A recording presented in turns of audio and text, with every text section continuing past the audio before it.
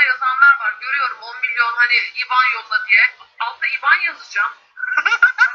Birazdan IBAN yazacağım. Ve gerçekten 10 milyonum olursa ben her şeyi bırakırım.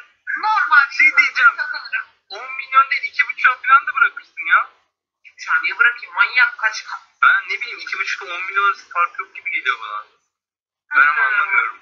Ben anlamıyorum. İrem Derici'ye destek olmak için zor gününde destek olmak için mücbir sebepler yani izleyicileri, sevenler, gönül verenler, nefret edenler hep beraber İrem Derici müziği bıraksın diye para topluyoruz.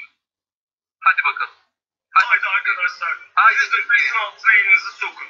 Arkadaşlar tabii ki müziği bırak, bırakmasını istediğimiz için toplamıyoruz bu parayı ama e, ya böyle bir vaat var. İstiyorsanız yayın sonuna kadar değerlendirerek alacağım.